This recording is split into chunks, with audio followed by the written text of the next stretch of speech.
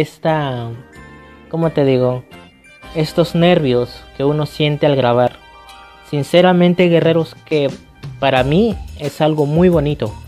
Es algo increíblemente hermoso porque esto también te puede quitar un, este, la depresión y si sufres de depresión te la puede quitar.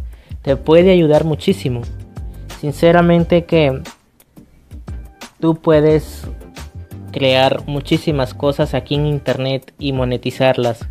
Sinceramente que es algo que tú vas a poder. Ahora, ¿por qué la importancia de las redes sociales en la educación? Bueno, como les dije en el video anterior, este no hay un colegio, no hay una academia o no hay una universidad que cree una carrera para hacer viral estos videos o este tipo de contenido. Sinceramente que no la hay. Aquí en el Perú no la hay. Y todo lo que nosotros, los creadores de contenido, estamos haciendo es porque estamos aprendiendo de otros creadores de contenido, viendo sus videos y viendo qué hace para mejorar. Y nosotros también estamos haciendo ese tipo de cosas. Simplemente estamos aprendiendo por que nosotros nos ponemos a mirar los videos de los demás creadores. Y guerreros, es algo muy bonito. Pero ahora, nadie te va a enseñar cómo viralizar un video. Nadie te va a enseñar cómo escribir un título correctamente. Nadie te va a enseñar que aquí en internet existen haters.